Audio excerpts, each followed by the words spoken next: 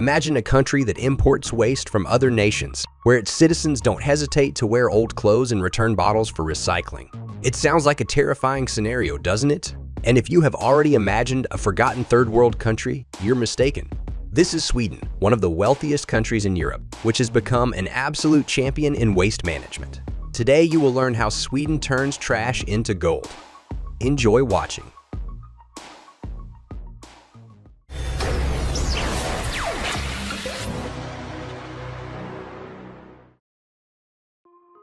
Cleanliness is not where people clean, but where they don't litter. But in the case of the Swedes, it's clean where they repair, share, and recycle. Only 1%. That's how much waste ends up in Swedish landfills. According to the Swedish Waste Management Association, Sweden currently recycles more than 99% of household waste. The recycling system works so well that almost every developed country concerned about its own ecology follows its example. Why does this system work? It all started in the 1970s. Sweden, with its harsh climate and complete dependence on natural gas supplies, decided to fundamentally change its energy situation. Specialists calculated that every Swede generated about one and a half kilograms of waste per day. Considering that 4 tons of household waste compensate for the use of 1 ton of oil, logic led the Swedes to the only right decision. The country became seriously involved in waste recycling, the secret of the Swedes was that while in some countries, this practice remained within the framework of an ecological experiment, the Swedes approached it with all seriousness and practicality. Since 2002, it has been prohibited in Sweden to dump what can be used for energy production into landfills. Even the industry operates on waste. Swedish garbage trucks run on biogas or electricity generated from waste. Waste-to-energy plants operating on the waste-to-energy technology replace nuclear power plants for the Swedes. On average, such plants produce about 17 terawatt hours of energy per year. This energy is sufficient to heat a significant part of Sweden's territory. While conventional thermal power stations require coal for such plants, waste is the raw material that costs practically nothing. Waste disposal provides 20% of the heat in Swedish homes. Swedes even accept garbage from other countries, attracting it for free, for example from Norway. Neighbors are happy to get rid of trash, and for Swedes, it's an energy resource. Waste incineration plants receive $43 per ton of waste. For instance, in 2014, Sweden accepted 2.3 million tons of garbage from Norway, Ireland, and the United Kingdom. Besides the raw material for heat and energy, Sweden earned a profit of almost $100 million. Swedes themselves admit that burning waste is not the ideal solution. Creating a new item from scratch uses much more energy than recycling. Moreover, burning waste emits carbon dioxide and greenhouse gases, which greatly concerns some environmental activists. Therefore, the population is encouraged to sort and recycle garbage in every way possible. Sorting stations are conveniently located throughout the country in supermarkets, municipal facilities, and the subway. Currently, Sweden recycles 48% of household waste. The rest goes to waste-to-energy plants. For example, fibers and paper are recycled up to seven times. Plastic is recycled and used for new products up to seven times as well. Waste recycling has opened new opportunities for businesses. Somebody sells lead obtained from batteries. Someone turns tires into fiber for artificial turf, and others transform old newspapers into eco-friendly scoops for cleaning up after dogs and cats. Moreover, Sweden produces the most electronic waste in the European Union, about 200,000 tons annually.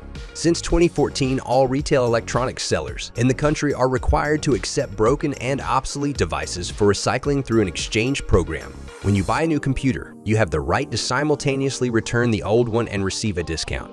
Additionally, the government encourages Swedes to repair household appliances, shoes, bicycles, reducing the corporate income tax by half the cost of services. Swedes were encouraged to engage in conscious sorting through a system of fines, educational initiatives, and active social advertising.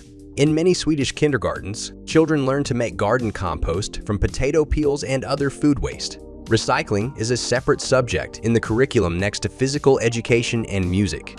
Furthermore, sharing services are actively developing where people jointly use various items instead of purchasing them, from cars and housing to skis and bicycles. It has even reached the point where an entire new genre of commercials appeared in Sweden, Pantamera, which translates from Swedish as recycle more. The bright ecologically clean future in Sweden is what's known as the circular economy. We weren't lying when we said Swedes turn trash into gold. They are making serious money from it. The classic approach, or linear production, is when we take resources from the environment and return them back but in the form of waste in landfills.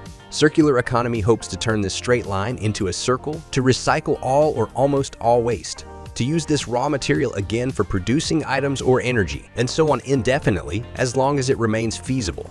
Does the rest of the world share a similar approach? It's hard to say, but leading nations try to adopt the experience of the Swedes.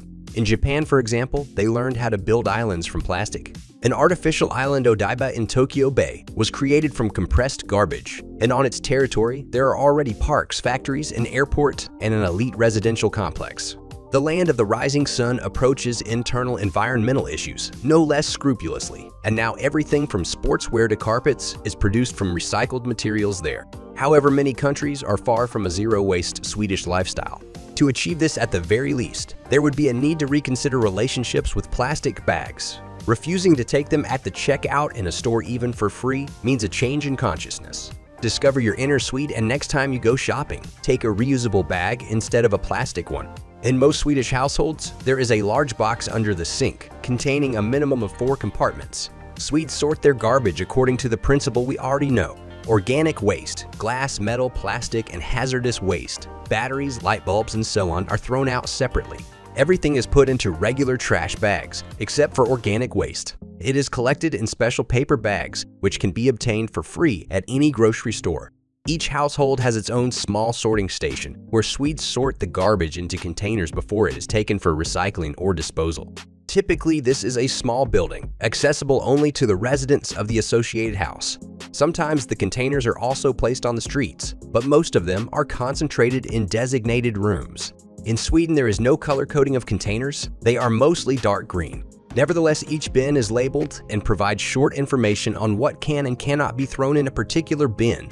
Besides household sorting stations, Sweden has also introduced vacuum waste collection systems. These are special waste chutes where anyone can dispose of sorted waste. A large percentage of Swedes take environmental conservation seriously and conscientiously sort every bit of waste both at home and at work. However, even in Sweden, not everyone separates their garbage. Some find it more convenient to put everything in one bag. And that's okay, because waste sorting in this country is not mandatory and does not carry any penalties or fines. But the results speak for themselves. If almost 100% of waste finds a second life, people still make an effort to sort their garbage because otherwise, it wouldn't be possible to recycle it. We have someone to look up to as Sweden truly sets an excellent example for all countries. How do you feel about sorting waste, and do you apply these methods at home? Share your opinion in the comments. Don't forget to like this video and subscribe to the Carros Show channel. Also check out our previous videos. See you later.